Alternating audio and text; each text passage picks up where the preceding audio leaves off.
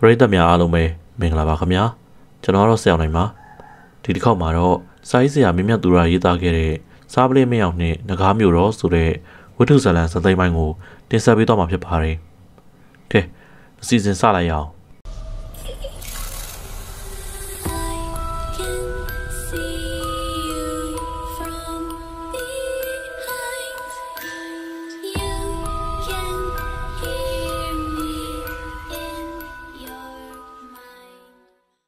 မောင်ဝိုင်းကဖခင်သေဆုံးကနေမှမှာကြားခဲ့တဲ့စကားများကိုပြန်လည်ကြားအောင်လာပါတယ်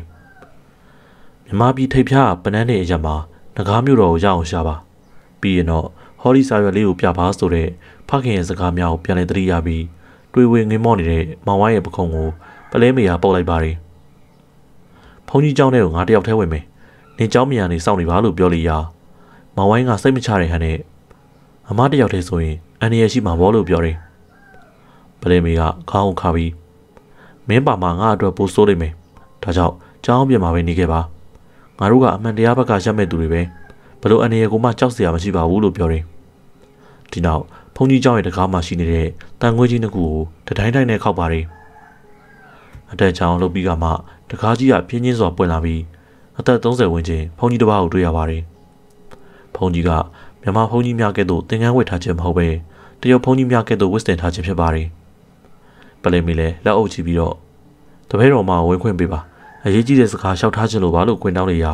ဖုန်းကြီးကခေါင်းခါပါတယ်။ကျောင်းတော်တွေကိုပွဲတော်ချိန်မဟုတ်ပဲဘသူ့မှဝင်ခွင့်မပြုဘူးထွက်သွားပါလို့မောင်းထုတ်တယ်။ဒီတော့ပလဲမီက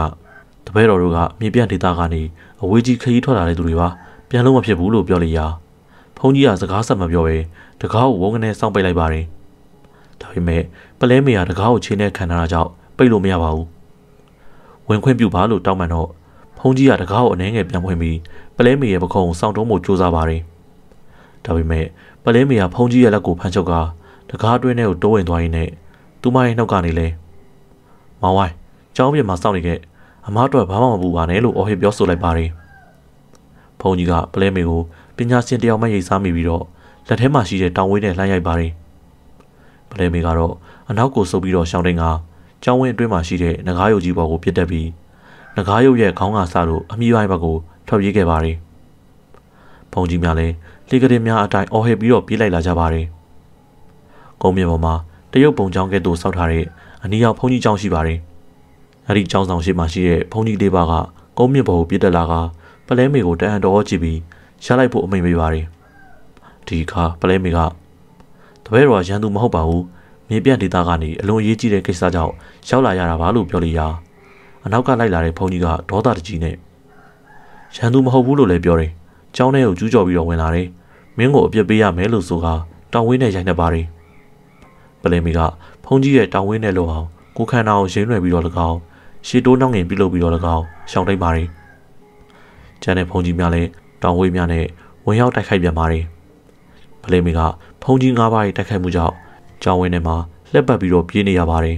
။မကြခင်မှာထိခိုက်ဒဏ်ရာရတော့မယ့်အရေးကိုမြင်တာကြောင့်ခဏလောက်ရပါအောင်ဗျာ။တပည့်တော်ရှင်းပြတော့နားထောင်မအောင်လို့တောင်းပန်ပေမဲ့ဘုန်းကြီးတွေကသူမရဲ့စကားကိုနားမဝင်ပဲအပြင်းထန်သာတိုက်ခိုက်နေကြပါတယ်။ကျောင်းရီကန်ဒီမှာလှက်ပတ်ပြေးသွားရင်းနဲ့ရီကန်အလယ်မှာရှိတဲ့ကျုံးကလေးကိုမြင်တာကြောင့်အဲ့ဒီကျုံးကိုပြေးဖို့အတွက်စဉ်းစားလိုက်မိပါတယ်။ဘုန်းကြီးများရဲ့လက်ကနေကွေ့ပတ်ပြေးလွှားရင်းနဲ့ရီကန်အလယ်မှာရှိတဲ့ကျုံးကလေးကိုဂျုံပစ်ပြီးတော့ခုန်ကူးလိုက်ပါတယ်။ သူမကကံကောင်းထောက်မစွာနဲ့ကျုံးကလေးရဲ့မြေပေါ်ကိုနင်းမိပါတယ်။အဲဒီကျုံးကလေးကအလုံးမဲ့သိမ်းနေတာကြောင့်ဖုန်ကြီးများစုပြုံပြီးတော့မလိုက်ပါနိုင်ပဲဖုန်ကြီးတစ်ပါးသာခုန်ကူးပြီးတော့လိုက်ပါလာပါတယ်။ဒီခိုင်မှာပဲတကားမကြီးပွင့်လာပြီးတော့ဖုန်ကြီးများထွက်လာကရက်လိုက်ဖို့အမိန်ပေးပါတယ်။ပလဲမေကိုတိုက်ခိုက်နေတဲ့ဖုန်ကြီးကရက်တက်လိုက်ပါတယ်။ဒီနောက်ဆရာတော်ဖြစ်ဟန်တူတဲ့ဖုန်ကြီးကတကားမလေးဘာဖြစ်လို့ကျောင်းတော်ကိုရန်စကျူးကျော်ရသလဲလို့မေးမြန်းတယ်။ဒီအခါပလဲမေက တပည့်တော်ဗုဒ္ဓဘာသာဝင်တယောက်ပါဘုန်းကြီးเจ้าအောင်ရစကျူးကျော်တဲ့အလုပ်မလုပ်ဝင်ပါဘူးเจ้าဝင်းထဲကိုဝင်ရတာကအလုံးအရေးကြီးတဲ့ပြဿနာတစ်ခုရှိလို့ပါလို့ရှောက်တင်နေပလဲမေရဲ့စကားကိုဘုန်းကြီးများညင်သက်စွာနားထောင်နေပါတယ်ဆရာတော်ဖြစ်ရန်တူတဲ့ဘုန်းတော်ကြီးကဘာပြဿနာများလဲကျုပ်တို့ကိုပြောပါလို့မေးတယ်ဒီအခါမှာပလဲမေကလွန်ခဲ့တဲ့၈နှစ်လောက်ကလူစွန်စားတစ်ယောက်ဟာမြေပြန့်ဒေသကနေဒီအရက်တိရအောင်လို့ရွှေရှာထွက်ခဲ့ပါတယ်တနေ့တော့ယောဂအပြင်းထန်ရပြီး မြေပြန့်ဒေသကိုရောက်လာခဲ့တယ်။သူတေခါဒီမှာငကားမျိုးတော်ကိုလာပြီးတော့စာလေးတစ်ပုဒ်ရွတ်ပြဖို့အတွက်အသေးချာမှာခဲ့ပါတယ်သူရွတ်ပြတဲ့စာကတော့ငကားတွေနေတဲ့စမ်းချောင်းမှာကံကောင်းသူဟာတရားတန်ဝေကရခဲ့ရှာကံဆိုးသူကလောဘရမန်နောက်ကိုလိုက်လို့ပါလို့ပြောလိုက်ရာဖုန်ကြီးအိုကြီးများအားလုံးငြိမ်သက်စွာနားထောင်နေကြပါတယ်ပြီးတော့မှဆရာတော်ကခေါင်းကိုခါရမိတခါမှလေးပြောတဲ့သူကျုပ်တို့မသိဘူးရွတ်ပြတဲ့စာကိုလည်းကျုပ်တို့နားမလည်ဘူးဒါပေမဲ့ ကျောင်းတော်ကိုရန်စကျူးကျော်တဲ့ပြစ်ကိုတော့တခါမှခံရမယ်လို့ပြောလိုက်ရာပလဲမီလည်းအလုံးမဲ့စိတ်ပြက်လက်ပြက်ဖြစ်သွားပါတယ်နေပါအောင်ဖေ။ဒီเจ้าကဘုန်းကြီးတွေကဒါအကုန်မဲလားလို့မြင်မြန်တော့ဆရာတော်ကဒါအကုန်ပါပဲကျုပ်တို့ရဲ့เจ้าကဘုန်းကြီးတွေဟာလူတွေနဲ့ရောရောနှောနှောမနေတတ်ဘူးဒါကြောင့်ရွှေရှားတဲ့သူတွေနဲ့လည်းအဆက်အဆံမရှိဘူးဒါကြောင့်ဒကာမာလေးပြုလုပ်ခဲ့တဲ့အပြစ်ဒဏ်ကိုခံယူပါလို့ပြောတယ်ပလဲမေလည်းစိတ်ပြက်လက်ပြက်နဲ့ဘလို့အပြစ်ဒဏ်များခံရမလဲလို့မင်းမြန်ကြီးလေးရာ ဖုန်းတော်ကြီးကကျုပ်တို့ရဲ့ချောင်းမှာ၅နှစ်တိတိတန်ရှင်းရေးကိစ္စတွေကိုလုပ်ပေးရမယ်။ဒါဟာဒကာမာလေးကမိမသားဖြစ်နေတဲ့အတွက်အသက်ညာဆုံးတန်ခတ်တာပါလို့ပြောတယ်။ပလဲမေလည်းမျက်လုံးပြူးသွားပြီးတော့ဘာ၅နှစ်ကြီးများတော့ကျမအပြစ်ဒဏ်ခံရမယ်။ဒါကတော့မတရားဘူးထင်တယ်။ကျမအခုချိန်ထိဘုန်းကြီးတစ်ပါးအောင်မှဒဏ်ရာရအောင်မလုပ်ခဲ့ပါဘူး။ကျမတို့သာဘုန်းကြီးတွေကထိခိုက်ဒဏ်ရာရအောင်တိုက်ခိုက်နေတာပဲလို့ပြောတယ်။ဒါကတော့ကျောင်းတော်ရဲ့စီကံပါပဲ။ ဒကာမလေးရဲ့အပြစ်ဒဏ်ကိုသာခံယူပါလို့ထပ်ပြောပြန်တယ်။ပလဲမေကဘုန်းကြီးရဲ့စကားကိုမကျေနပ်တာကြောင့်ကျမဒီအပြစ်ဒဏ်ကိုမခံနိုင်ဘူးဘုန်းကြီးတို့လမ်းဖယ်ပေးပါလို့တောင်းပန်နေဘုန်းကြီးများကတော့လမ်းဖယ်မပေးပဲပလဲမေကိုဒုရှိကိုစီနဲ့ဝိုင်းရံထားပါတယ်ပလဲမေလည်းသူမအတွက်အလွန်အနေရကြီးမာတဲ့အခြေအနေနဲ့တွေ့ကြုံနေမှချိန်စားမိလိုက်ပါတယ်ရန်သူတော်ကြီးလာတင်ကိုလက်စားမချေနိုင်ပဲအသက်အသေးမခံနိုင်ပါဘူးဒါကြောင့်လွယ်ရီထဲမှာရှိတဲ့ချောင်းလုံးပြူတနတ်ကိုစခနဲ့ဆွဲထုတ်ပြီး လမ်းဖယ်ပေးပါမဖယ်ပေးရင်တော့ကျမကိုအပြစ်မစိုးနဲ့လို့ချင်းချောက်လိုက်လေရာဖုန်ကြီးများလည်းချောင်းလုံးပြူတနတ်ကိုကြည့်ပြီးတော့ထိတ်လန့်သွားပါတယ်အဲ့ဒီတနတ်ကိုပလဲမေကလွန်ခဲ့တဲ့၃နှစ်ခန့်ကတမ ्या များထံရရှိထားခြင်းဖြစ်ပါတယ်။ဘုံကြီးများကတော့ပလဲမေရဲ့6လုံးပြူတနတ်ကြောင့်ရှေ့မတိုးဝင်မှန်းဖြစ်နေပါတယ်။ဒီခိုင်မှာပဲဖုံးတော်ကြီးရဲ့လက်ထဲမှာခိုင်ထားတဲ့ပတိကလေထဲမှာဝဲပြန်လာပြီးပလဲမေရဲ့တနတ်ကင်လက်ကိုပြင်းထန်စွာရိုက်လိုက်လေရာပလဲမေလည်းအားကနဲ့អော်ပြီးတော့ တနတ်ကိုလွတ်ချလိုက်မိပါတယ်။လက်ထဲကလွတ်စင်သွားတဲ့တနတ်ကိုဒိုင်မင်ထိုးပြီးတော့ကောက်ယူဖို့ကြိုးစားလိုက်ပေမဲ့လည်းဖုံးတော်ကြီးများတောင်းဝင်းနဲ့ရိုက်ထားကြောင့်တနတ်ကိုပြန်ပြီးတော့မကောက်နိုင်ခဲ့ပါဘူးပလဲမီကမြေပေါ်မှာအရှိန်လုံးပြီးတော့လဲကျကြံရစ်ပါတယ်သူမရဲ့လွယ်အိမ်မှာလည်းမြေပေါ်ကိုကျပြီးတော့လွယ်အိမ်ထဲမှာရှိတဲ့ပစ္စည်းများတစားစီပြန်ကျဲသွားပါတယ်ဆရာတော်ကစူးရှတဲ့မျက်ဝန်းများနဲ့လွယ်အိမ်ထဲကပစ္စည်းများကိုကြည့်ရင်ကြောက်စိမ့်တကားရုပ်ကိုမြင်တဲ့အခါမျက်နှာကွက်ခနဲပြတ်သွားပါတယ်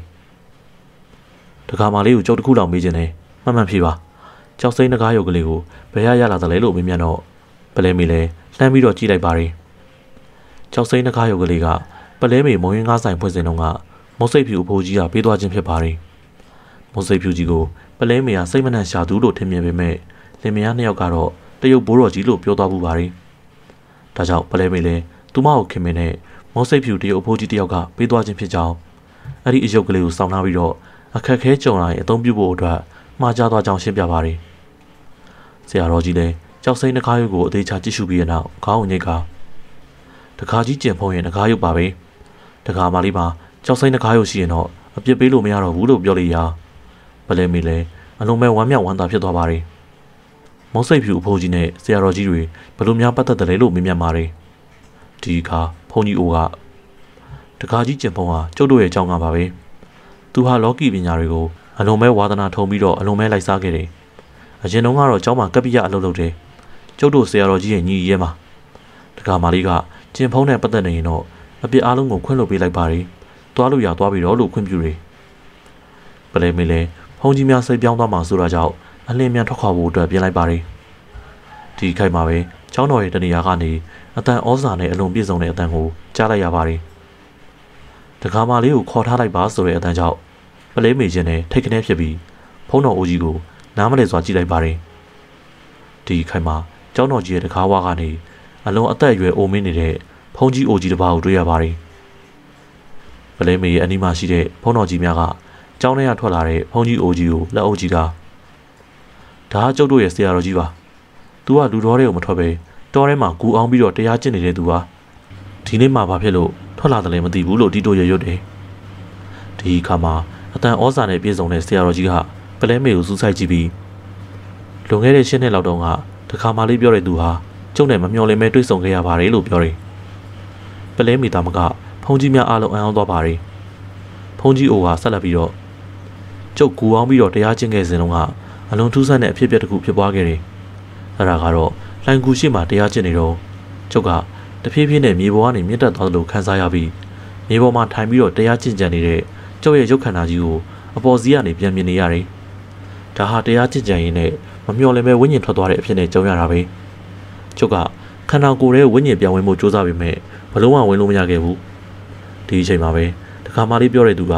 ကျုပ်ရဲ့ရုပ်ခန္ဓာရှိကိုရောက်လာတယ်ကျုပ်ရဲ့ရုပ်ခန္ဓာကြီးကိုထိုင်ကြော့ပြီးတော့အကြာကြီးကြည့်နေတယ်ကျုပ်ရဲ့ရုပ်ခန္ဓာရှိမှာမနက်ကနေညနေအထိထိုင်ဆောင်နေတယ် ကျုပ်ကလည်းရုပ်ခန္ဓာတွေကိုပြန်ဝင်မရလို့အခက်ကြုံနေတဲ့အချိန်တခါမှလေးပြောတဲ့သူက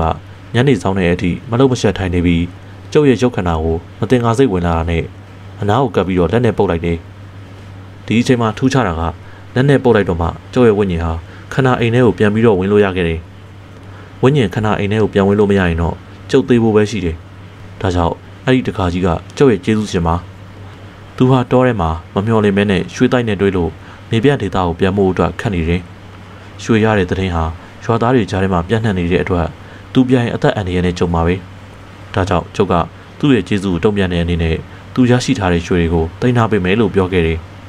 ရွှေတွေမပါဘဲနဲ့မြေပြန့်ဒေတာကိုပြန်ရင်တော့သူ့ကိုရန်ရှာမဲ့သူရှိမှာမဟုတ်ဘူးနောက်တစ်ချိန်ကျမှရွှေတွေကိုကျုပ်စီကနေပြန်ယူဖို့အတွက်ပြောခဲ့တယ်ဒီလိုနဲ့နှစ်ပေါင်းများစွာကြားတဲ့အချိန်အထိသူပြန်ရောက်မလာခဲ့တဲ့အတွက်ကျုပ်ဟာသူသေးပြီလို့ယူဆခဲ့မိပါတယ် တက္ကမလေးကသူနဲ့ဘယ်လိုပတ်သက်တယ်လဲလို့မေးမြန်းပါတယ်ဒီအခါပလဲမေကသူမနဲ့မောင်ဝိုင်းရဲ့နောက်ကျောင်းရာဇဝင်ကိုပြန်လည်ပြောပြလိုက်ပါတယ်ဆရာတော်ကြီးလည်းသူမရဲ့စကားအဆုံးမှာတော့ဘုန်းကြီးတစ်ပါးကိုဆဲလို့ပြီးလျှို့ဝှက်တဲ့နေရာမှာတင်စီထားတဲ့ရွှေအိတ်ကိုယူလာပေးပါတယ်ပလဲမေကဘုန်းကြီးရဲ့လက်ထဲကရွှေအိတ်ကိုလက်ခံယူလိုက်ပါတယ်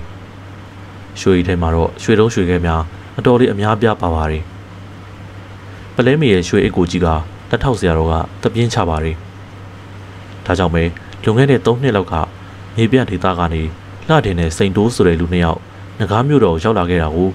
ကျုပ်အခုမှပဲသဘောပေါက်သွားပြီလို့ရေရွတ်တယ်ပလဲမေကလည်းစိတ်ဝင်စားစွာနဲ့ဆက်ပြီးတော့နားထောင်နေပါတယ်လက်ထောက်ဆရာတော်ကဆက်ပြောပါတယ်ဒီလူနှစ်ယောက်က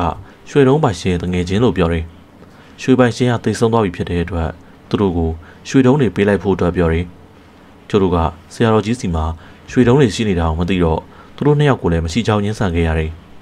ဒါကြောင့်ဒီလူတွေဟာရွှေတွေကိုဘလို့မှတောင်းမရတာနဲ့မကြေမနက်ကြုံသွားပြီးတော့ပြန်သွားခဲ့တယ်လို့ပြောတယ်ပလင်မေလည်းသူမရဲ့မိခင်ကိုတပ်ဖြတ်သွားတဲ့လူယုံမှလှတဲ့နဲ့ပြုံးချိုရဲ့အမ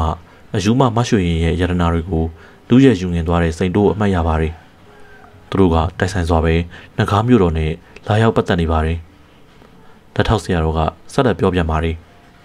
အဲ့ဒီလူနှစ်ယောက်က ငကားမျိုးတော်ကိုမထင်မှတ်ပဲနဲ့လာပတ်သက်ပြီးချင်းချောက်သွားတဲ့အတွက်သူတို့နှစ်ယောက်ရဲ့သတင်းတွေကိုငကားမျိုးတော်ကဘုန်းကြီးတွေဟာအနက်ခံခဲ့ကြတယ်လို့ပြောတော့ပလဲမေကဆရာထက်တန်စွာနဲ့ဟမ်ဒါဆိုသူတို့နှစ်ယောက်အခုဘယ်မှာရှိတယ်ဆိုတာကိုငကားမျိုးတော်ကသိမှဘောလို့ပြောတယ်ဆရာတော်ကခေါင်းကိုညှိပြီးတော့သိပါတယ်သူတို့နှစ်ယောက်စလုံးကမြေပြန့်ဒေသရန်ကုန်မြို့မှာရောက်ရှိနေကြတယ်တယောက်ကဗဘဲလုပ်ငန်းကိုလုပ်ကင်ပြီးတော့ကျန်တဲ့တယောက်ကတော့ဗဘဲဆရာနဲ့မနီးမွေးမှာပဲထမင်းဆိုင်ဖွင့်ပြီးတော့ အသက်မွေးဝမ်းကြောင်းပြုနေတယ်လို့ပြောလိုက်ရာပလဲမေလည်းအလုံးမဲ့စိတ်လှုပ်ရှားသွားပါတယ်ဒီခိုင်မှာပဲဘုန်းတော်ကြီးကအချိန်ရှိတော့မှတက္ကမလေးကျောင်းတော်ကနေပြန်ထွက်ပြီးတော့ဒီကျောင်းမှာညအိတ်ညက်နေဧည့်သည်လက်ခံယူထုံးစံမရှိဘူးလို့ပြောတယ်ဒီတော့ပလဲမေလည်းသူမရဲ့ပခုံးပေါ်မှာထမ်းထားရတဲ့ရွှေအိတ်ကိုစောင်းခဲ့ကြည့်ပြီးအပြန်ခရီးအတွက်ရင်လင်းမိသွားပါတယ်ရွှေတုံးရွှေခဲတွေကအန်ရီကိုဖိတ်ခေါ်တကယ်သူရှိနေပါတယ်ပလဲမေရဲ့စိုးရင်စိတ်ကိုထိုးဖောက်မြန်ရှိတဲ့ ဖုန်ကြီးအိုကြီးတစ်ပါးကကျောင်းတော်ကနှခါရုံမိဘုံတစ်လုံးပေးလိုက်ပါမယ်နှခါရုံမိဘုံကိုမြင်ရင်တော့ဒီအရာမှာဘသူမှမနှောက်ယှက်ဝဲမှာဘူးနှခါရုံမိဘုံပါတဲ့သူကိုဝိုင်းဝန်းပြီးတော့စောင့်ရှောက်ကြမှာပါအရေးကြီးတာကနှခါရုံမိဘုံကိုပနန်းတင်ကြော်တာနဲ့မီးရှို့ဖျက်ဆီးပစ်လိုက်ပါပနန်းတင်အရက်ကနေကြော်ပြီးတော့ယူသွားခွင့်မပေးနိုင်ဘူးလို့ပြောတယ်ဒီနောက်ဘုန်းကြီးတစ်ပါးကသေးငယ်တဲ့ဝက်လုံးမှာကျိုးနဲ့ချိတ်ဆွဲထားတဲ့မိဘုံတစ်ခုယူလာပေးပါတယ်မိဘုံကတော့ ဘာမှထူးခြားပုံမရှိပဲအဖြူရောင်စက်ကူပေါ်မှာအနီးရောင်ငကားတစ်ကောင်ရဲ့ပုံကိုရေးဆွဲထားပါတယ်ပလဲမီလည်းဖုန်ကြီးမြောင်နှုတ်ဆက်ပြီးတော့ငကားမျိုးတော်ကနေပြန်ထွက်ခဲ့ပါတယ်ကျောင်းတကားမကြီးကိုဖွင့်ပြီးတော့အပြင်ထွက်လိုက်တဲ့အခါကြောက်ခင်းလမ်းပေါ်မှာထိုင်ပြီးတော့အစားအစာများပလုတ်ပလောင်းစားတော့နေတဲ့မောင်ဝိုင်းကိုတွေ့ရပါတယ်ပလဲမေကိုပြင်တာနဲ့မောင်ဝိုင်းလဲဝမ်းသာအားရနဲ့အဆင်ပြေခဲ့ရဲ့လားအမားလူမိတယ်ပလဲမေကခေါင်းအုံငိပြီးဟော်ရီယာအိတ်ထဲမှာ မင်းရဲ့ဖခင်ထားခဲ့တဲ့ရွှေတုံးရွှေခဲတွေပါလာတယ်ဒီအကြောင်းတွေကိုတော့အေးအေးဆေးဆေးမှပြောပြတာပေါ့ဟော်ရီယာအစားအစာတွေကိုဘယ်သူလာပို့ပေးတာလဲလို့မေးမြန်းတယ်မောင်ဝိုင်းကသူ့ရဲ့အနီးမှာချထားတဲ့ချင်းတောင်ကိုပြပြီးဒီချင်းတောင်ကိုဖုန်းကြီးတစ်ပါးလာပို့သွားတာဗျပေါက်စီနဲ့ရေဦးပါတယ်အမစားအောင်လေလို့ပြောတယ်ပလဲမေလဲဘိုက်ထဲမှာစားလောင်နေရကြောက်ပေါက်စီများကိုတဝါတစ်ပြဲစားတော့ပြီးရေကိုအဝတောက်ပြလိုက်ပါတယ်ဒီနောက်မြက်ခဲပေါ်မှာခြေပြက်လက်ပြလှဲပြီး မောင်ဝိုင်းနင်းနဲ့ငါနဲ့ကန်ကောင်းလို့ပြန်ပြီးတော့စုံတွေ့ရတာလို့အစရှိကသူမရဲ့တွေ့ကြုံခဲ့ရပုံတွေကိုပြန်ပြောပြလိုက်ပါတယ်မောင်ဝိုင်းကလည်းစုတ်တက်တက်နဲ့နားထောင်ပြီးရနောက်ကန်ကြီးပြီလို့ပေါ့အမပြန်ရောက်ခဲ့တာပဲ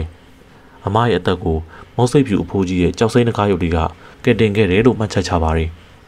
ဒီနောက်မှာတော့ဖလဲမေတို့ကြမ်းတမ်းလာတဲ့ခရီးကိုဆက်ကြရာရွာတရွာကိုရောက်တာနဲ့ရွာရဲ့အကြီးအကဲကပလဲမေတို့ရဲ့မိဘကိုကြည့်ပြီးပြပြတလဲနဲ့နေရာချပေးပါတယ် အပြန်အတွက်လမ်းပြလူချင်းကြောင်းပြောလိုက်ရာမြန်မာစကားကိုနားမလည်တာကြောင့်လက်ဟန်ချေဟန်နဲ့ပြောပြရပါတယ်အတန်ကြာတော့မှသဘောပေါက်ပြီးလမ်းပြလူပူလေးတယောက်ထည့်ပေးလိုက်ပါတယ်ပလဲမေတို့လူပူလေးရဲ့အကူအညီနဲ့ကြမ်းတမ်းလာတဲ့ခရီးကိုဖျက်ဆီးခဲ့ကြပါတယ်ဒီလိုနဲ့မြစ်ကြီးနားကိုပြန်လည်ရောက်ရှိခဲ့ပါတယ်မြစ်ကြီးနားတစ်ဆင့်မိရထားနဲ့ခရီးဆက်ခဲ့ပြီးအေယာဝတီမြို့ကိုဖျက်ဆီးကမန္တလေးဘက်ကိုကူးခဲ့ပါတယ်မန္တလေးကိုရောက်တော့ပလဲမေကတဲခုခံတစ်ခုမှတဲပြီးရွှေတုံးရွှေခဲများကိုရောင်းစားဖို့ပြင်ပါတယ် ဒီနောက်မှာတော့ပွဲစားများနဲ့ဆက်သွယ်ပြီးတယုံတထေးကြီးတယောက်ကဝယ်ယူဖို့အတွက်သဘောတူပါတယ်ရွှေများကိုရောင်းချတဲ့နေ့မှာပလဲမေကဇပွဲပေါ်မှာချောင်းလူမျိုးတနတ်ကိုတင်ပြီးမယုံမသားလုံးမယ်တော့မချန်နဲ့အားလုံးဥပွင့်သွားမယ်တတိရှိလို့တယောက်တည်းမျိုးပေါ်ကိုတက်လာတာလို့ပြောလိုက်ရာ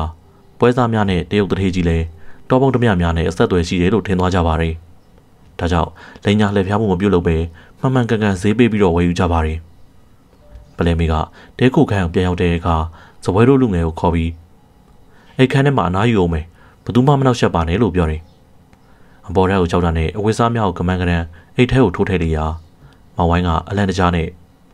အခန်းထဲမှာအိတ်မယ်လည်းပြောသေးတယ်အဝိစားတွေကိုသိမ်းနေရလားလို့မေးမြန်းလိုက်ရာပလဲမေကနှက်ခမ်းမှာလက်ညှိုးနဲ့ကပ်ပြီးတိုးတိုးနေနောင်ဖေးပါအောင်နေငါတို့ပြေးကြမယ်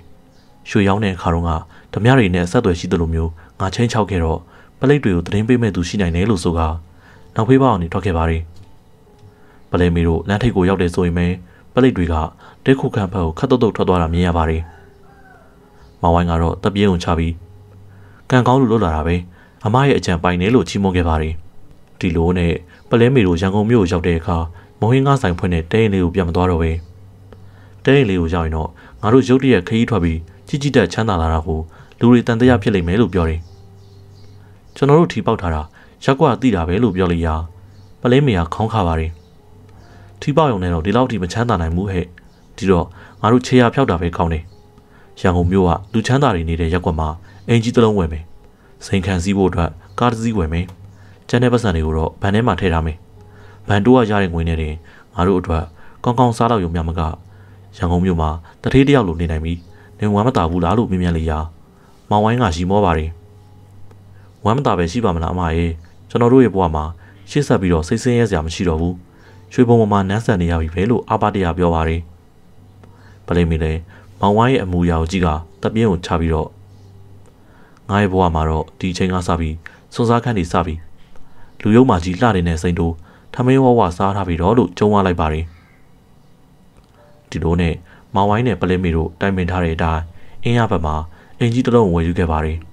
ရန်ကုန်မြို့ထဲမှာလှည့်လည်သွားလာနိုင်မှုအတွက်ကားတစ်စီးဝယ်ယူပြီးဒရိုင်ဘာတယောက်ငှားရမ်းခဲ့ပြန်ပါတယ် သူမကဒရိုင်ဘာငှားရမ်းရမှာအတွေ့အကြုံမရှိတာကြောင့်ငယ်ရွယ်တဲ့သူတယောက်ငှားရမ်းခဲ့ပါတယ်အဲဒီလူကနောက်ပိုးယူတယောက်ဖြစ်နေပြီးအလောက်ခွင်ကိုပြဿမင်းသားတယောက်ကဲ့သို့နေ့စဉ်ဝတ်ဆင်လာပြီးတော့ပလဲမေကိုပိုးပတ်ပါတယ်အစားကတော့လူမှုရေးကိုငဲပြီးမတိချင်အောင်စောင့်နေပေမဲ့လည်းနောက်ပိုးယူကဘင်ဂျိုကိုကားပေါ်ယူပြီးတော့တချင်းများစောင်းမြောင်းတီဆိုတဲ့အခါတီးမခံနိုင်တော့ပဲအလုံးဝထုတ်ပြလိုက်ပါတယ်နောက်ထပ်တစ်ယောက်ကိုငှားရမ်းခဲ့ပြန်တော့အဲ့ဒီလူကအလုံးမဲ့အေးဆေးရဟန်ရှိပြီး လက်ထဲမှာဖျားစာအုပ်တုံးနဲ့ပတိတကုံအမျက်ဆောင်ထားပါတယ်စကားတော်မှလေးတန်တီးတိုးနဲ့ပြောတတ်ပါတယ်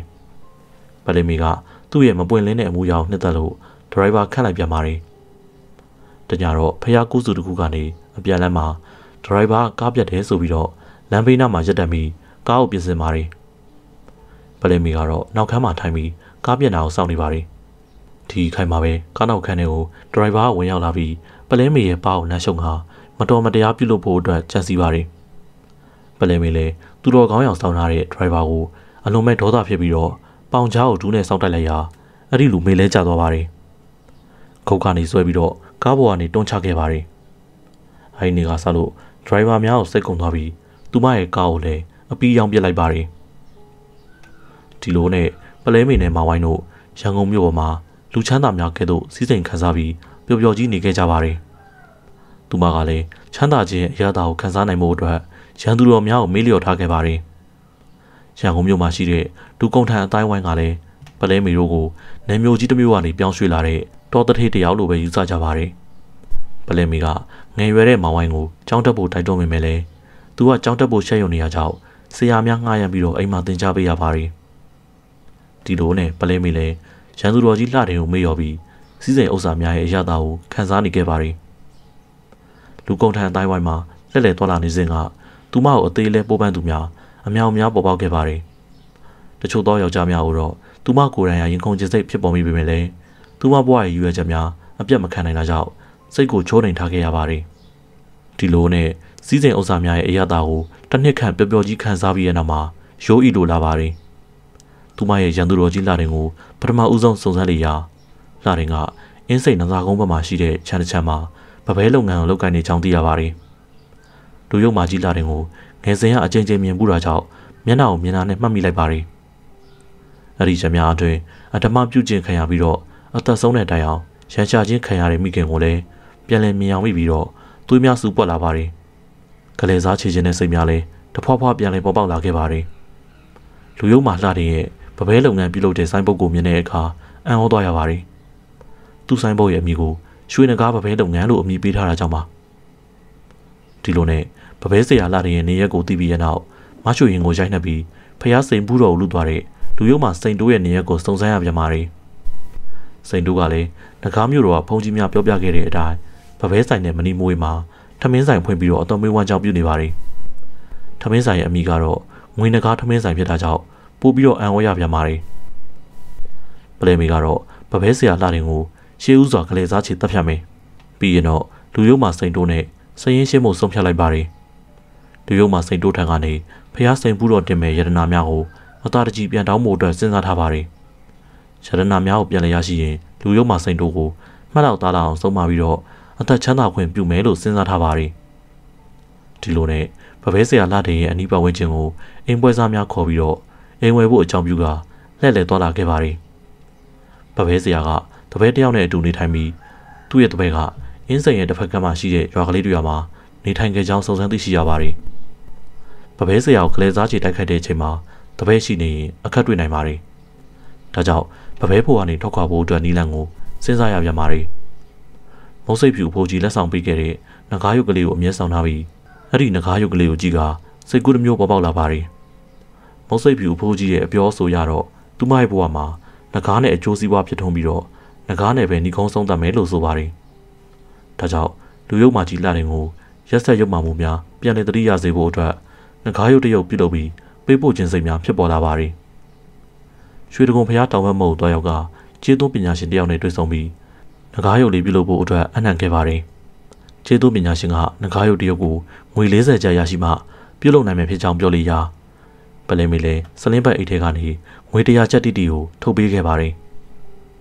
ရှင်တောင်းတာတိတ်နေတယ်။ငကားရုပ်ကိုငွေ100တိတိပေးမယ်။အများဆုံးလုပ်ပေးပြီတော့လို့ပြောခဲ့ပါတယ်။မကြခင်ငကားရုပ်ပြုလုပ်ပြီးတဲ့အခါပလဲမီက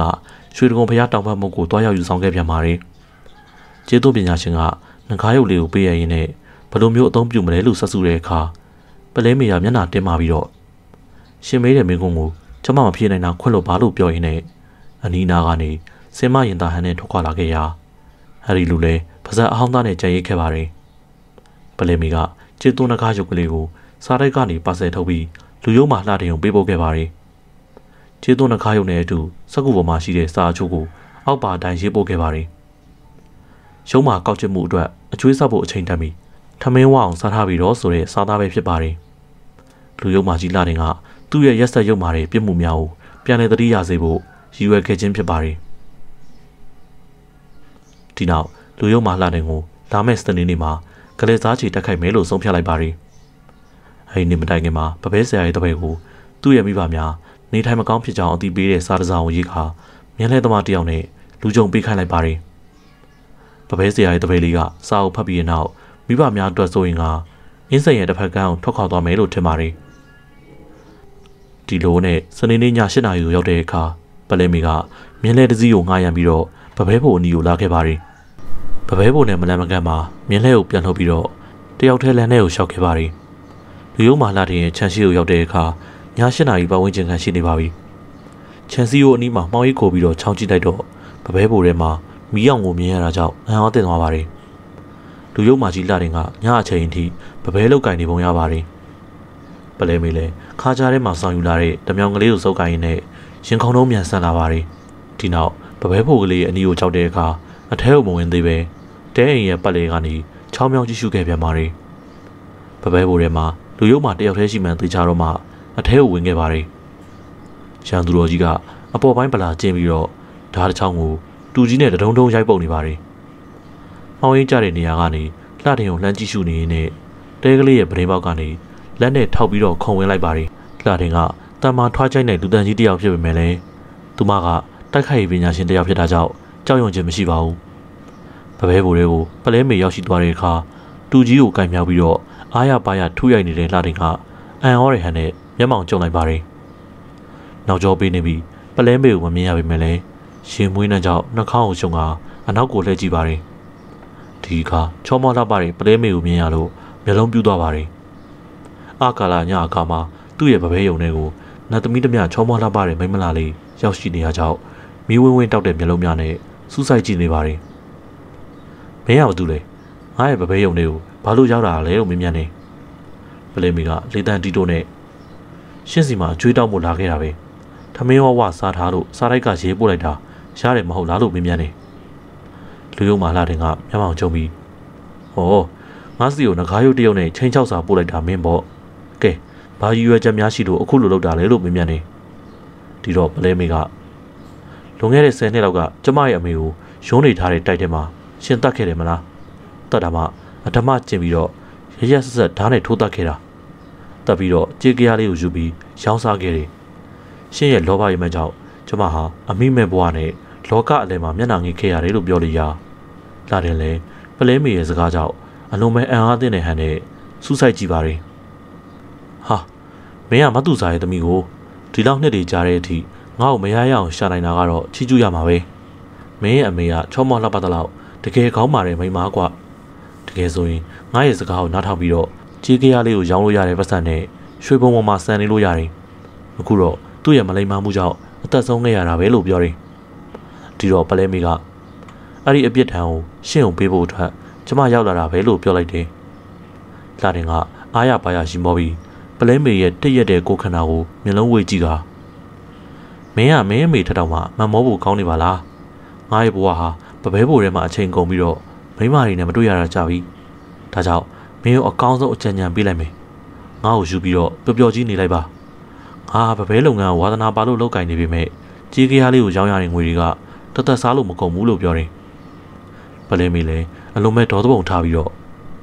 ခွေးကောင်ရှင်းကိုယူမယ်အစားခွေးကိုပဲအမိဖြတ်ပြီးတော့ယူလိုက်မယ်ဒီနေ့ကရှင်းရဲ့သေးနေပဲလို့ပြောတော့လှတင်ကလည်းရီမောပါတယ် မင်းလည်းမင်းအမေလိုမျိုးခေါင်းမာတဲ့ကောင်မလေးပါလားလက်ထက်ကဓမြောင်လေးအားကိုနဲ့ငါ့ကိုထိုးမလို့လားထိုးစမ်းပါရှေ့ကိုတိုးပြီးတော့ထိုးလိုက်စမ်းပါဒီနေ့ညတော့မင်းလေးနဲ့အတူစီးစိမ်ယူရမယ်လို့ပြောတယ်ပလဲမီကတော့ဓမြောင်ငယ်လေးကိုလက်ထဲမှာကျွမ်းကျင်စွာဝေရမ်းလိုက်ပြီးထိုးမဲ့ဟန်ပြင်လိုက်ရာသူမကိုအထင်သေးနေပုံရတဲ့လှထရဲ့မျက်နှာကွက်ခနဲပြတ်သွားပါတယ်ဒီနောက်လက်ထဲမှာရှိတဲ့တူကြီးနဲ့ပလဲမေကိုထူရိုက်ဖို့အတွက်ပြင်တဲ့အခါပလဲမေကလျင်မြန်စွာပဲသူ့ရဲ့ရင်ဝါကိုလက်တစ်ပြက်ထိုးဆိုင်သွားလိုက်ရာ အားကနေអော်ပြီးတော့လက်ထဲမှာရှိတဲ့တူကြီးလွတ်ကျလို့သွားပါတယ်လူယုံမှာတနာယူပါအခုတော့တနာယူနိုင်သေးလားကျမရဲ့အမေကိုမတော်မတရားလုပ်ပြီးတော့ရရက်ဆက်ဆက်တပ်ဖြတ်ခဲ့တာမှတ်မိပြီလားလို့ကြွကြော်ရင်းနဲ့ပပဲယုံထဲကနေကြောခိုင်းပြီးတော့ထွက်ခဲ့ပါတယ်မဲမောင်နဲ့လမ်းမကြီးအတိုင်းတကူရဲရှောင်းလန်းလာရင်းနဲ့မြဝင်းအစုံကနေမျက်ရည်များစီးကျလာခဲ့ပါတယ်လွန်ခဲ့တဲ့10နှစ်ခန့်ကမိခင်ရဲ့ရန်ကြွေးကိုစလိုက်နိုင်ခဲ့ပါပြီ ရန်သူတော်ကြီးကိုကလေးစားချင်နိုင်ခဲ့တာကြောင့်မိခင်ရဲ့ဝိညာဉ်ဟာသူမကိုကောင်းချီးပေးလိမ့်မယ်လို့ထင်ခဲ့ပါတယ်ပလဲမေလည်းနောက်တစ်နေ့ထုတ်တဲ့သတင်းစာများကိုဖတ်ရှုကြည့်တဲ့အခါလူတက်မှုနဲ့ပတ်သက်ပြီးတော့ရှုထောင့်အမျိုးမျိုးကနေရေးသားထားကြကြောင်းတွေ့ရပါတယ်ပပဲဆရာအသက်ခံရမှုကိုအင်းစိန် CND ကစုံထောက်များစုံစမ်းထောက်လှမ်းနေကြောင်းဖော်ပြထားပါတယ်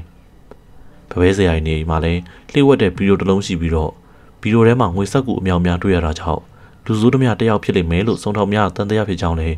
ရေးသားဖော်ပြထားပါတယ်စားပရင်မယောင်ဆိုတဲ့စုံထောက်ကတော့လူတက်တရခန်ဟာချောမောလှပတဲ့မိမပြိုတယောက်ဖြစ်ကြောင်းထုတ်ဖော်ပြောကြားခဲ့တာကြောင့်ပလဲမီကစားပရင်မယောင်ရဲ့နာမည်ကိုမင်းနီနဲ့ဝိုင်းပြီးဒီလူမဆိုးဘူးလို့တီးတိုးရေရိုနေခဲ့ပါတယ်ဒီခိုက်မှာပဲအဲ့ရနှိုးလာတဲ့မောင်ဝိုင်းကညအမတိုက်တဲ့ကော်ဖီကိုတောက်ပြီးတော့အိတ်ချင်လို့လို့အစောကြီးအဲ့ရဝင်ခဲ့မိတယ်လို့ပြောတယ်ပလဲမီကတော့ သူမအလုပ်ကိစ္စရှင်းနေတော့မှမောင်ဝိုင်းအဲ့ရမနှိုးစေဖို့အတွက်ကော်ဖီထဲအိတ်ဆေးထည့်ပြီးတော့တိုက်ခဲ့ခြင်းဖြစ်ပါတယ်ဒုတိယသတင်းစာမှာတော့တရခန်ဟာသူတက်မှုကိုကြိုးလုံးမိကထူးဆန်းတဲ့ကျေးသွန်းနဂါးရုပ်လေးတစ်ကောင်ပေးပို့လိုက်ကြောင်းရေးသားထားပြန်ပါတယ်။အဲဒီနဂါးရုပ်ကလေးကလည်းတရခန်နဲ့ဆက်ဆက်နေမယ်ဖြစ်ကြောင်းစားပလင်းမယောင်ကကောက်ချက်ချတယ်လို့ဖော်ပြထားပြန်ပါတယ်။ဒီလိုနဲ့ပလဲမီကလူရုပ်မာကြီးလာတင်ကိုအပြစ်ဒဏ်ခတ်ပြီးလို့ ဆက်ရက်ပြည့်တဲ့နေ့မှာပဲစိန်တိုးဆိုတဲ့သူကိုတွားရောက်တွေ့ဆုံမှုအတွက်ဆုံးဖြတ်လိုက်ပါတယ်။ဒီရပိုင်းများအတွင်းမှာစိန်တိုးရဲ့ငွေနှကားထမင်းဆိုင်ကိုမကြာခဏတွားရောက်ပြီးတော့စားတောက်ခဲ့ပါတယ်။သူမရဲ့ချန်သူတော်ကြီးလာတဲ့နဲ့စိန်တိုးတို့ကနဂါးမြို့တော်ကိုလောပစောကပ်ပြီးတော့တွားရောက်ခဲ့ကြသူများဖြစ်တာကြောင့်ထမင်းဆိုင်နဲ့ဗပဲဆိုင်နာမည်ကိုရွှေနဂါးနဲ့ငွေနဂါးဆိုပြီးတော့စင်တူယိုမှမှဲ့ခေါ်ထားပုံရပါတယ်။ထမင်းဆိုင်မှာစိန်တိုးကိုယ်တိုင်ထမင်းချရန်ရှိပြီးစပွဲထိုးတဲ့မိမပြိုနှစ်ယောက်ရှိကြောင်းလည်း သတိပြုမိပါတယ်။စပွဲတို့များကပြင်းရင်ငွေနေခံရှိတာကြောင့်စိန်တိုးရဲ့ထမင်းဆိုင်ဟာရောင်းရဟန်မရှိပါဘူး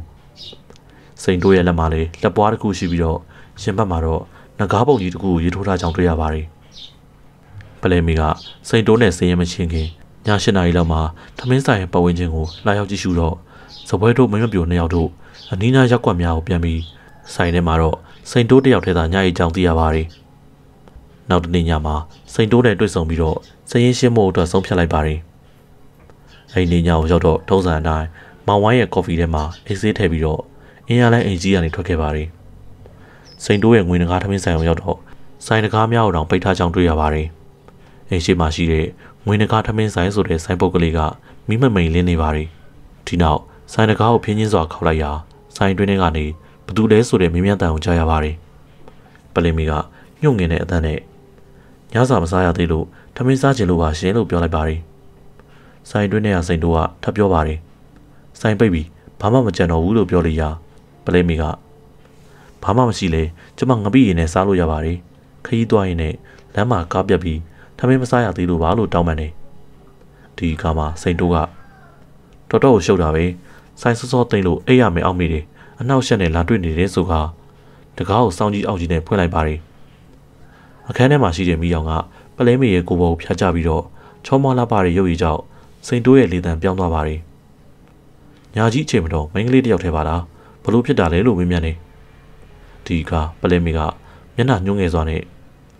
ကျမတိုက်ကြီးမျိုးပါမိဘတွေနဲ့စိတ်ဆိုးပြီးတော့အိမ်ဘွားနေဆင်းလာခဲ့တာလမ်းကြုံလိုက်လာတဲ့အခါလမ်းမှာနှစ်ချိန်သုံးချိန်ပြတ်ပြီးရန်ကုန်အဝင်နောက်ကျခဲ့တယ်အခုလဲကားကလမ်းမှာပြတ်နေလို့စိတ်မရှိပဲထွက်လာတာပါ ထမင်းစားပြီးရင်ဒီညဘယ်မှာအိပ်ရမလဲတော့မသိပါဘူးရှင်လို့ပြောတော့စိန်တိုးကပလဲမေရဲ့စွန့်ကားတဲ့တင်ကိုတစ်ချက်ကြည့်ပြီးမျက်နှာဝင်းလဲသွားပါတယ်ကျုပ်ကဒီနေ့နားကျင်လို့ဆိုင်ကိုစောစောပေးလိုက်တာပါချက်သားဟင်းနဲ့ထမင်းစားလို့ရပါတယ်ထမင်းစားပြီးရင်လည်းအိပ်ဖို့နေရာမပူပါနဲ့ကျုပ်ရဲ့ဆိုင်မှာပဲအိပ်ပါတညာလုံးစိတ်ချမ်းသာလက်ချမ်းသာအိပ်ရပါစေမင်းကဲကဲဆိုင်ထဲကိုဝင်ဆိုကဆိုင်တကားတစ်ချက်ကိုဖွင့်ပေးလိုက်ပါတယ်ပလဲမီဆိုင်ထဲကိုရောက်တော့အကြံသမားစိန်တို့ကတကားကိုပြန်ပိတ်ပြီး ချက်ချလိုက်ပါတယ်ပြီးရနောက်ပလဲမီရဲ့ခန္ဓာကိုယ်ကိုရိုင်းဆိုင်တဲ့အကြည့်နဲ့ကြည့်ကဆိုင်ဖွင့်သေးတယ်ထင်ပြီးတော့သူများတွေဝင်လာမှစိုးလို့တကားပိတ်တာပါလို့ပြောတယ်ပလဲမီကစပွဲကုံထောင်ဆုံးမှာထိုင်ပြီးတော့စိန်တိုးကိုကြည့်ကကိစ္စမရှိပါဘူးရှင်တကားပိတ်လိုက်တော့ကောင်းတာပေါ့ရှင်းစရာရှိတာရှင်းလို့ရတယ်လို့ပြောတယ်စိန်တိုးကတော့နားမလည်နိုင်ဟန်နဲ့ဘာများရှင်းဖို့လဲလို့မေးမြန်းလိုက်ရာပလဲမီကလွန်ခဲ့တဲ့6နှစ်လောက်က မရွှေရင်ဆိုတဲ့မိန်းကလေးကိုလိန်ညာလှည့်ဖျားပြီးတော့ဖះစိန်မှုတော်မှာလှူဒန်းမဲ့ရတနာတွေကိုလူရက်ယူသွားတာမှတ်မိတယ်မို့လားအဲ့ဒီပစ္စည်းတွေကိုပြန်ပေးပါလို့တောင်းဆိုလိုက်လေရာစိန်တိုးလည်းပါဇက်အောင်သားဖြစ်သွားပါတယ်ပြီးတော့မှအထစ်ထစ်အငေါငေါနဲ့မင်းမရွှေရင်လည်းဘလို့များပတ်သက်လဲလို့မင်းများနေရှင်ကအတော့တကူကောင်းဆန်တဲ့သူပဲရှင်ရဲ့လောဘစောကပ်ပြီးတော့မတရားလူရတာကြောင့်မရွှေရင်ရဲ့အဖေဟာစိတ်ထိခိုက်ပြီးတော့တည်ဆုံးခဲ့ရတယ်မရွှေရင်လည်းတမျိုးလုံးရဲ့တတွေးခွက်ထဲမှာ ပလက်မျောပြီးတော့အယူမဘွားကိုရောက်ခဲ့ရတယ်ဒါတွေအလုံးကမရွှေရင်မောင်လေးစီကနေကျမပြန်ပြီးတော့ကြားခဲ့ရတာပဲဒါကြောင့်ယတနာတွေကိုကျမရဲ့လက်ထဲကိုအပ်လိုက်ပါဒါဆိုရင်တော့ရှင်လောက်ခဲ့တဲ့မကောင်းမှုတွေကိုကျမမေ့ပြစ်လိုက်မယ်လို့ပြောလိုက်ရာလူရုပ်မှာစိန်တိုးလဲပလဲမေရဲ့မျက်နှာကိုမကျေနပ်တဲ့ဟန်နဲ့ကြည့်ပြီးနေစမ်းမအောင်ဒီကိစ္စတွေကမင်းနဲ့ငါနဲ့ဖာဆိုင်လို့လေဂျားထဲကနေငွေညှစ်ချင်လို့လာလို့ပြင်ပြန်တော့ပလဲမေကခေါင်းခါပါတယ်ရှင်းမှရှိတဲ့စီးစိမ်ဥစ္စာထက် ကျမအများကြီးပို့ပြီးတော့ချမ်းသာတယ်ရှင်ဒါတွေကိုစိတ်မဝင်စားပါဘူးရှင်ဒုက္ခပေးခဲ့တဲ့မိသားစုဟာကျမအပေါ်မှာကျေးဇူးရှိတယ်ဒါကြောင့်ရှင်ကိုမရရအောင်ရှာဖွေပြီးလိုက်လာခဲ့တာပဲလို့ပြောတယ်စိန်တိုးကတော့ပလဲမေကိုအားနွဲ့တဲ့မိမသားတစ်ယောက်ပဲလို့အထင်မြင်သေးတဲ့ဟန်နဲ့ကြည့်ကဒီမဲ့မိန်းကလေးကျုပ်ကယတနာတွေကိုပြန်မပေးနိုင်ဘူးဆိုရင်မင်းကဘာတတ်နိုင်မှာလဲလို့ပြောပါတယ်ပလဲမေကစိန်တိုးရဲ့မျက်နှာကိုမခိုးမခန့်ကြည့်ပြီးရှင်ကကျမကိုမိန်းကလေးတစ်ယောက်ဆိုပြီးတော့အထင်သေးတဲ့သဘောလား ရှင်ရဲ့တငယ်ချင်းလူရုံမှလှတဲ့နာကိုလိုက်သွားခြင်းလို့လားလှတဲ့ကိုငရဲပြီးပို့ပေးခဲ့တာကျမပါပဲဒီတော့ရတနာတွေကိုကျမရဲ့လက်ထဲပြန်မအပ်ရင်ရှင်းကိုလှတဲ့နောက်ပို့ပေးရလိမ့်မယ်လို့ပြောလိုက်ရာစိန်တိုးကအလုံးမဲ့အံ့ဩသွားပါတယ်ပလဲမီကသူမရဲ့ခါးကြားတဲ့တမြောင်ကိုစက်ခနဲထုတ်လိုက်ပြီးကဲရတနာတွေကျမရဲ့လက်ကိုအပ်ပြီးတော့လို့ပြောတယ်လူရုံမှစိန်တိုးလဲကြံရမရတဲ့ဟန်နဲ့ငါစီမှာမရှိတော့ပါဘူးရောင်းစားလို့ကုန်သွားပြီလို့ပြောလိုက်ရာ ပလဲမီကကောင်းကိုခါရမီကျမကိုမညာနဲ့နော်ရှင်ထုတ်ပေးမလားမပေးဘူးလားလို့ပြောတော့စိန်တိုးကချွေးသွေးချွေးပေါက်များကြာလာပါတယ်ကျုံးစီမှာမရှိပါဘူးဆိုတာကိုဘယ်နှခါပြောရမလဲမကြေနိုင်ရင်တော့ဆိုင်ထဲမှာကိုရန်ရှာကြည့်ပေါ်လို့ပြောတယ်ပလဲမေလည်းအနှဲငယ်အကြံရခတ်သွားပါတယ်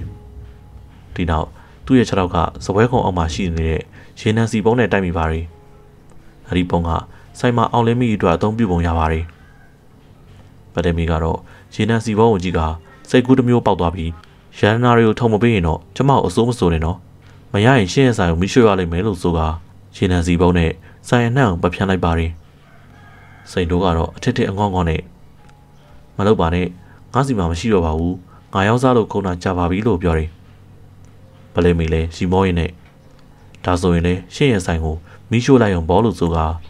မိဘိုထဲမှာရှိတဲ့မိဆွဲနေတဲ့ထင်းစာကြီးကိုအိမ်ရဲ့အနီးကိုလှမ်းပစ်လိုက်တော့ မိများတောက်လောင်လာပါတယ်စိန်တို့လဲမီးဟုံးဟုံးတောက်နေတဲ့ဆိုင်ကန်ကိုကြည့်ပြီးမျက်နှာအကြီးကျယ်ပြက်ကဆိုင်ကန်တော့ဗီဒီယိုရှိအောင်အလင်းမြန်ပြေးပါတယ်မိများကတော့လင်းမြန်စွာလောင်ကျွမ်းနေခဲ့ပါတယ်စိန်တို့ကဗီဒီယိုကြီးကိုလင်းမြန်စွာဖွင့်ပြီးဗီဒီယိုရဲ့အောက်ဆုံးထက်ကိုကြောကဗီဒီယိုထဲမှာရှိတဲ့ပြင်များများကိုခွာပြီးတော့မြေကြီးတွေကတစ်တာငယ်လေးတစ်လုံးကိုနှိုက်ယူလိုက်ပါတယ်ဒီကမိညွန့်ကစိန်တိုးရဲ့ကိုကိုဟတ်လိုက်ပြီးသူ့ရဲ့အင်ကြီးကိုမိဆွဲလောင်တာကြောင့်အတန်နဲ့ကြီးနဲ့အားကနေအော်က မိတဲ့ကပြစ်ထွက်လာပါတယ်ပလဲမေရဲ့ရှေ့ကိုရောက်တော့လက်ထဲမှာရှိတဲ့တစ်တာငယ်လေးလွတ်ကျသွားပြီးဆိုင်ပြင်းကိုပြေးသွားကမြေပေါ်မှာလူးလှိမ့်နေပါတယ်စိန်တိုးရဲ့အော်ဟစ်တန်ကြောင့်ပဝင်းကျင်မှာရှိတဲ့လူများကိုအတိပေးလိုက်တဲ့ကဲ့သို့ဖြစ်သွားပါတယ်ပလဲမေလည်းစိန်တိုးလွတ်ကျသွားတဲ့တန်တစ်တာလေးကိုကင်ပြီးတော့မီးဆွဲလောင်နေတဲ့အိမ်ထဲကနေအလင်းမြန်ပြေးထွက်လာခဲ့ပါတယ်သူမကလမ်းထဲကိုရောက်တဲ့အခါတစ်ဖက်ကနေမောင်းနှင်လာတဲ့မြင်းလဲတစ်စီးကိုလှန်ထားပြီးတော့အင်းရဘက်ကိုမောင်းနှင်ခိုင်းရပါတယ် အိမ်ုံပြန်ရောက်တော့မှတစ်တာငယ်လေးရဲ့တော့ကိုရိုက်ချုပ်ပြီးဖွင့်လှစ်ကြည့်လိုက်တဲ့အခါရတနာများကိုတွေ့ရပါတယ်ဖះစိန်ဖူးတော်မှာလူရမ်းမဲ့ရတနာများကိုစိန်တိုးရဲ့လက်ကနေပြန်လည်ရရှိခဲ့ပါပြီဒီရတနာများကိုပြုံးချိုပြန်လည်ပေးအပ်ပြီးတော့စိန်ဖူးတော်မှာလူရမ်းနိုင်မှုအတွက်စီစဉ်ရပါမယ်ဒီနောက်အိယာဘောကိုခြေပစ်လက်ပစ်လဲချလိုက်ပြီးအနားယူခဲ့ပါတယ်ဖះပစ္စည်းကိုရုံးမှာကောက်ကျစ်တဲ့လောဘစောနဲ့လူရထွက်ပြေးသွားတဲ့စိန်တိုးတယောက်ငရဲဘီကို အရှင်လက်လက်ရောက်ရှိသွားပါပြီသူမရဲ့ဘဝမှာအရေးပါတဲ့တာဝန်ကြီးနှစ်ယောက်ကိုထမ်းဆောင်လိုက်ရတာကြောင့်ရှင်ထဲမှာပေါ်ပလွတ်လပ်သွားခဲ့ပါတယ်နောက်တနေ့ထုတ်တဲ့သတင်းစာများကိုဖတ်ရှုပြီးတဲ့အခါသတင်းစာအားလုံးကအင်းစိန်နသားကုန်းဘက်မှာရှိတဲ့ထမင်းဆိုင်တစ်ဆိုင်မှာမိလောင်မှုဖြစ်ပွားပြီးဆိုင်ရှင်သေဆုံးသွားကြောင်းသာဖော်ပြထားပါတယ်သတင်းစာများကိုဖတ်ရင်းနဲ့အားပါတရပြောလိုက်မိပါတယ်တလခန့်ရန်ကုန်မြို့မှာအနားယူပြီးတဲ့နောက်မွေးစားဖခင်ကြီးရှိရာကိုခဏလောက်ပြန်မယ်လို့စဉ်းစားထားပါတယ် ပဒဲမီလည်းသတင်းစာများကိုရှေ့မှာချပြီးတော့ကြည့်ရှုရင်းနဲ့တကြီးကိစ္စသတင်းစာကိုသတိပြုလိုက်မိပါတယ်ယခုရပိုင်းတွင်အင်းစိန်နသားကုန်းဘက်မှဖြစ်ပွားခဲ့တဲ့မှုခင်းများအနက်မှုခင်းများအလုံးငကားများနဲ့ပတ်သက်နေတာမှာထူးခြားတဲ့တိုက်ဆိုင်မှုဖြစ်ကြောင်းဖော်ပြထားပါတယ်။ပလဲမီလည်းအဲ့ဒီတရင်ကိုဖတ်ရှုပြီးတော့သူမရဲ့ channel မဲကိုပြောင်းလဲဖို့စိတ်ကူးမိပါတယ်။ငကားမျိုးတော်လို့အမည်ပေးထားတဲ့သူမရဲ့ channel ကြီးကိုပလိတ်ဘက်ကတန်တရားဖြစ်သွားနိုင်ပါတယ်။ဒါကြောင့်မောင်ဝိုင်းကိုခေါ်ပြီး အမားတို့ channel ကြီးရဲ့ငကားမျိုးတော်ဆိုတဲ့အမည်ကိုပြောင်းလိုက်ရင်ကောင်းမယ်။ဟိုတလောကရွှေတကုံဖျားမှာဘေးရင်မေးတော့ကဒီနာမည်ကြီးဟာအမားတို့ကိုခိုက်နေတယ်လို့ပြောလို့ရမောင်ဝိုင်းရရှိမောပါတယ်အမတော်ပါပဲချိုက်တဲ့နာမည်ကိုပြောင်းချင်တယ်လို့သာပြောင်းပါတော့ကျွန်တော်ဒါတွေကိုစိတ်ဝင်စားပါဘူးကျွန်တော်စိတ်ဝင်စားတာကသတင်းစာတွေမှာပါတဲ့ငကားနဲ့သက်ဆိုင်တဲ့လူသားမှုတွေမိလောင်မှုတွေအကြောင်းပဲဒီလိုမှုကင်းကြီးတွေနဲ့ကျွန်တော်တို့ရဲ့ channel ပဲတူနေတော့နာမည်ပြောင်းလိုက်တာအကောင်းဆုံးပါပဲအမရဲ့လို့ပြောတယ် ပလဲမီလဲမောင်ဝိုင်းရဲ့စကားကိုခေါင်းတညိမ့်ညိမ့်နဲ့နားထောင်ပြီး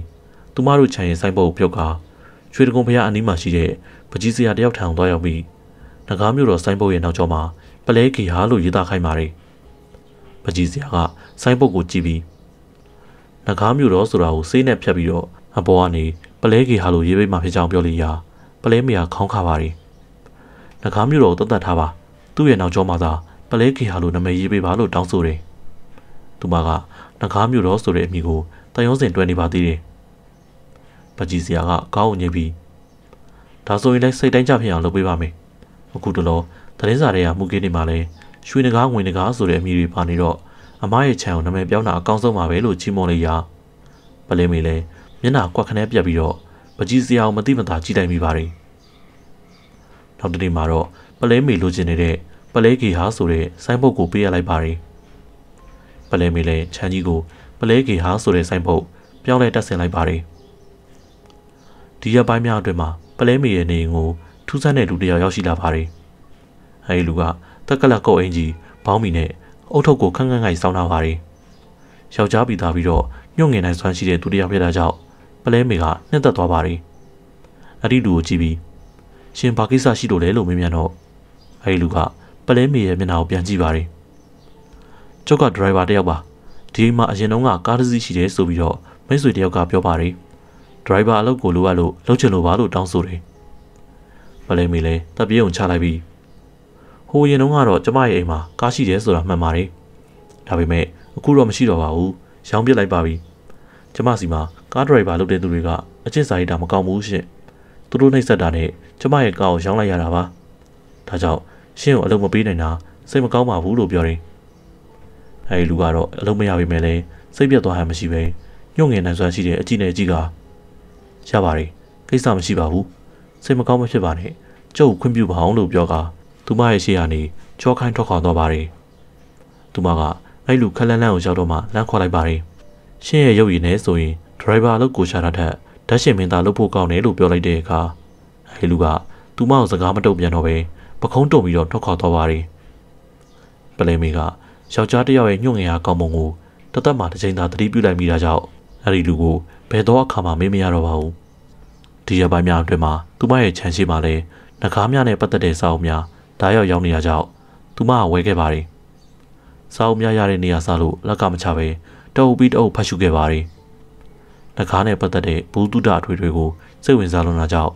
နေ့စဉ်ရက်ဆက်စာအုပ်များကိုသာဖတ်နေခဲ့ပါတယ်။ဒါအပြင်တချို့သောလူငယ်လေးများက ရုံးနဲ့ပြုလုပ်ထားတဲ့နှကားရုပ်များသူမရဲ့ခြံရှိမှလာရောက်တာကြောင့်ဝယ်ယူခဲ့ပြန်ပါတယ်။ပလဲမေလည်းနှကားရုပ်ကလေးများကိုကြည့်ပြီးတော့သဘောအကျကြီးကြနေခဲ့ပါတယ်။ဒီရပိုင်းများအတွင်းသတင်းစာများကိုနေ့စဉ်ဖတ်ရှုနေလေရာတတိမှာတော့သူမအတွက်စိတ်ဝင်စားဖွယ်ရာကောင်းတဲ့သတင်းတစ်ပုဒ်ကိုတွေ့ရပြန်ပါတယ်။အဲဒီသတင်းကတမိုင်းဘက်မှာရှိတဲ့တရုတ်ဘုံကျောင်းတစ်ကျောင်းရဲ့250ပြည့်အထိမ်းအမှတ်ပွဲကိုဒီနေ့ညမှာကျင်းပမှာဖြစ်ကြောင်းဖော်ပြထားပြီးတော့အထိမ်းအမှတ်ပွဲမှာတရုတ်နဂါအကနဲ့ဖျော်ဖြေပြီး လာရောက်တဲ့ပရိသတ်များကိုတရုတ်တို့ရဲ့နဂါအယူဆနဲ့ပတ်သက်လို့တရုတ်ဘုံတော်ကြီးချင်းယုံကဟောပြောမှာဖြစ်ကြောင်းဖော်ပြထားပါတယ်။ပလဲမေလည်းယခုရက်ပိုင်းအတွင်းမှာနဂါများနဲ့ပတ်သက်ပြီးတော့ထူးထူးခြားခြားတွေ့ကြုံခန်းစားရတာကြောင့်အနုံမဲ့အံ့အားသင့်နေမိပါတယ်။ညနေဆောင်တဲ့အခါမှာတော့မဝိုင်းကိုတရုတ်ဘုံကျောင်းရဲ့ဟောပြောပွဲနားထောင်မှုအတွက်အဖို့ခေါ်လေးရာမဝိုင်းကဒီနေ့ညနေမှာတီချာကက်သရင်းရဲ့အင်္ဂလိပ်စာအတန်းရှိပါတယ်။သူတိုင်းကျွန်တော်မရှိလို့မဖြစ်ဘူးလို့ဆိုကကြံ့ရိပ်ခဲ့ပါတယ်။ ပလဲမေလည်းရထားလုံးတစ်စီးကိုငှားရမ်းပြီးတော့သူမတယောက်တည်းထွက်လာခဲ့တယ်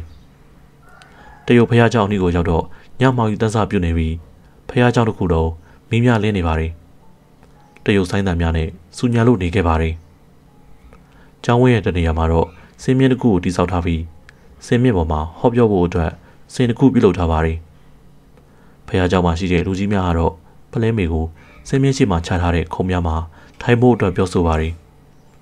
အဲဒီခုံများမှာတရုတ်မိသားစုများထိုင်နေကြပြီးတော့မြန်မာလူမျိုးဆိုလို့မရှိသလောက်ပါပဲ။ပလဲမေလည်းငကားကြောင်နားထောင်ဖို့အတွက်ဆရာထက်တန်စွာစောင့်လျက်ရှိနေစဉ်မှာတရုတ်မိသားစုများတဖွဲဖွဲရောက်ရှိလာပြီးတော့ခုံများပြည့်သွားပါတယ်။ဟောပြောဝဲစဖို့အချိန်တန်နေပေမဲ့ရောက်မလာသေးပါဘူး။ဒီခိုင်မှာတရုတ်ဖះเจ้าကလူကြီးများဟောပြောဝဲပြုလုပ်ဖို့အတွက်စီစဉ်ထားတဲ့စင်အနီးမှာရောက်ရက်ခတ်နေပါတယ်။ဒီနောက်မှာတော့လူကြီးတယောက်ကစင်မောတက်လာပြီး တရုတ်ဖုန်းတော်ကြီးကျင်းယုံကအခြေအနေတစ်ခုကြောင့်ရောက်မလာနိုင်ကြောင်းပြောလိုက်ရာအားလုံးလည်းဟင်ကနေဟာကနေဖြစ်သွားကြပါတယ်။ဒီအခါပလဲမေလည်းသူတို့ကိုကြည့်ပြီးတော့တရုတ်ဖုန်းတော်ကြီးကိုစားတရုတ်တို့ရဲ့ငကားယူစားကြောင်းကိုဟောပြောခြင်းတဲ့စိတ်များဖြစ်ပေါ်လာပါတယ်။ငကားများနဲ့ပတ်သက်လို့ဝါသနာကြီးစွာနဲ့စာအုပ်များကိုချိန်ဖန်များစွာဖတ်ရှုထားခဲ့ပါတယ်။ဒါကြောင့်ကောင်းစွာပြောနိုင်မယ်လို့ယုံကြည်မိပါတယ်။ဒါကြောင့်စေအနီးမှာခေါင်းချင်းရိုက်နေတဲ့ဖះလူကြီးများထိုင်အောင်သွားပြီးငကားများရဲ့အကြောင်းကို သူမဟောပြောလိုကြောင်းခွင့်တောင်းလိုက်ရာလူကြီးများအံ့ဩသွားပါတယ်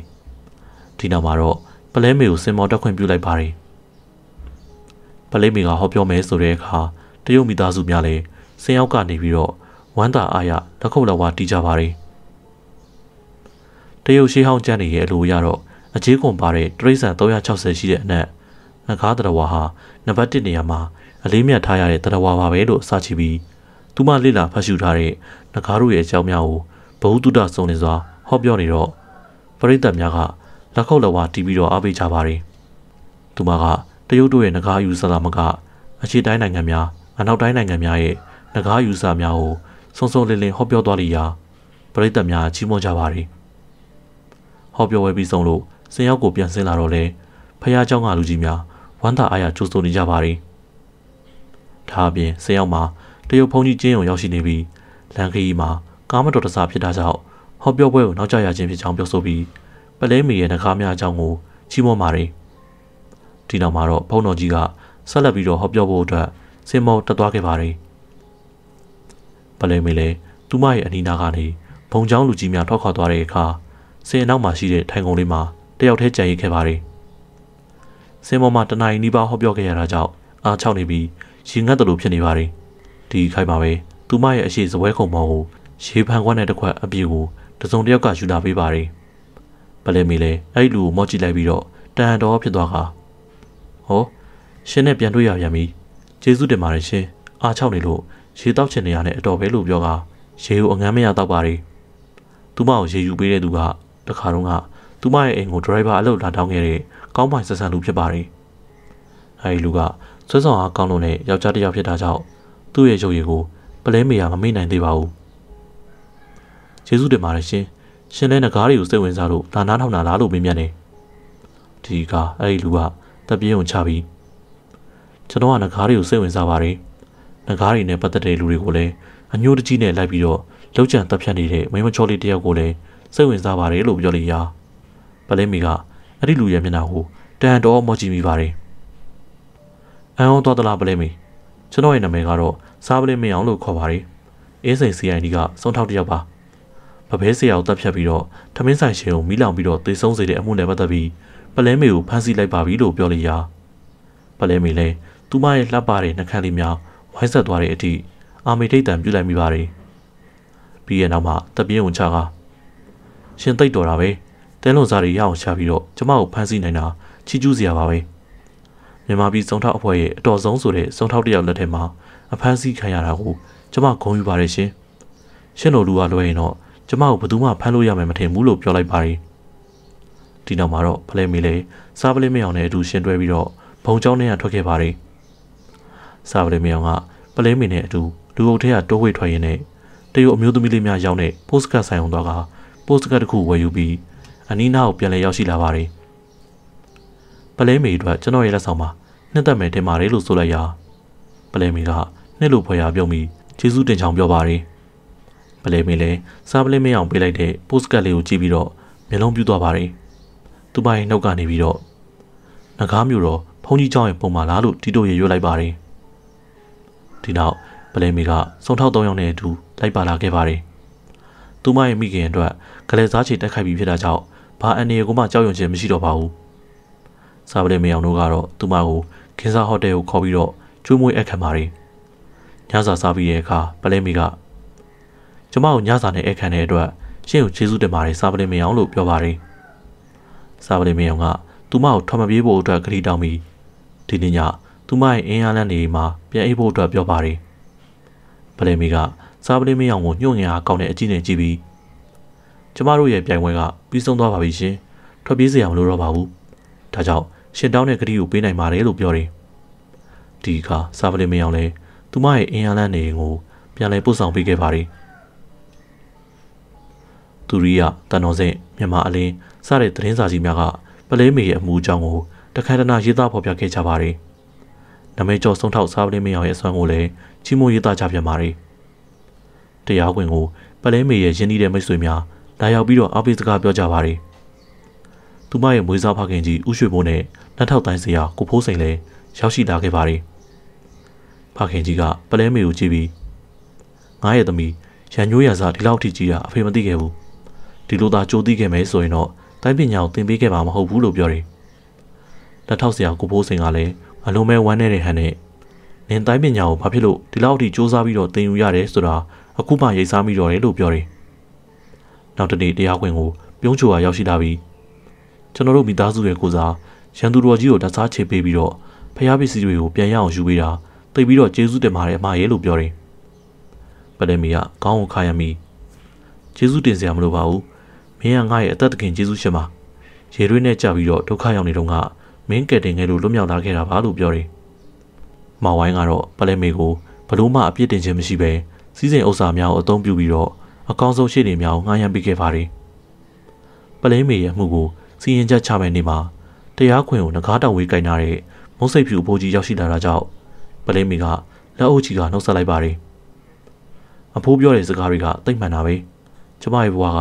ငကားတွေနဲ့အကျိုးစီးပွားဖြစ်ထွန်းခဲ့ပြီးတော့ငကားတွေနဲ့ပဲအဆုံးသတ်ခဲ့ရပြီလို့ပြောလိုက်ရာမုတ်စိတ်ဖြူအဖိုးကြီးကခေါင်းကိုခါရမ်းပါတယ်။ထပ်သူလည်းမရှိဘူး။တေသူလည်းမရှိဘူး။အရာအလုံးကကန်တရားရဲ့အလိုအတိုင်းပါပဲလို့ပြောတယ်။ဒီလိုနဲ့ပလဲမေရဲ့အမှုနဲ့ပတ်သက်ပြီး ကိုယ်တိုင်ခံဝင်ချက်ပေးထားပေမဲ့လည်းမျက်မြင်သက်သေမရှိတာအကြောင်းမဲမသားဖြစ်တာအကြောင်းကြောင့်ထောက်ထားညတာသောအဖြစ်ထောင်ဒဏ်10နှစ်တာအပြစ်ဒဏ်ချမှတ်ခဲ့ပါတယ်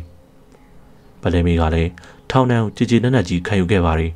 ။မိခင်ရဲ့ကိုစားလူရုံမာကြီးလှတင်ကိုကလေးစားချီတက်ခတ်လိုက်ရခြင်းကပဲသူမဘဝအတွက်ပြီးပြည့်စုံတဲ့ရည်မှန်းချက်တစ်ခုဖြစ်ခဲ့ပါတော့တယ်။ဟုတ်ကဲ့ပါခင်ဗျာ။ စားပလဲမရောက်နဲ့ငကားမျိုးတော်ဆိုတဲ့ဝတ္ထုဇာတ်လမ်းကြီးဒီနေရာမှာအဆုံးသတ်သွားခဲ့ပါပြီ။အခုလိုမျိုးအားပေးနှထောင်ခဲ့ကြတဲ့အတွက်အထူးပဲကျေးဇူးတင်ရှိပါတယ်။နောက်နေ့ဒီမှာလည်းဇာတ်လမ်းကောင်းတွေကိုတင်ဆက်ပေးတော့မှာဖြစ်တာကြောင့် subscribe နှိပ်ပြီးတော့စောင့်မျှော်အားပေးနှထောင်ကြပါအောင်လို့ပြောကြရင်းနဲ့နှုတ်ဆက်လိုက်ပါတယ်။ကျေးဇူးအများကြီးတင်ပါတယ်ခင်ဗျာ။